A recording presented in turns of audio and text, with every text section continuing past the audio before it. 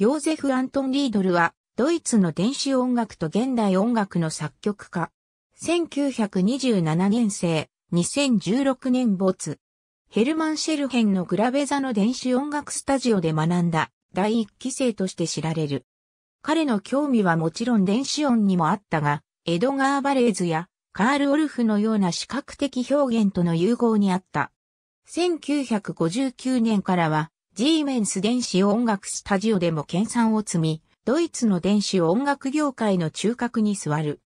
とはいえ、彼の表現は全く粘ることがなく、打楽器音楽に興味を示したこともあり、硬質でさっぱりとした表現が特徴である。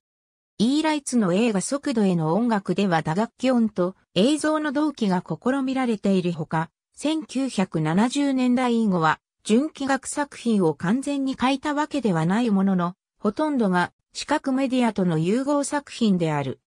2009年には RZ エディションで56年間の奇跡が2枚組の CD で販売されたが、彼本人が創作歴の割には佳作であったことも含めて、その重要性はドイツ国外ではあまり認識されているとは言えず、アジア圏への紹介は低かった。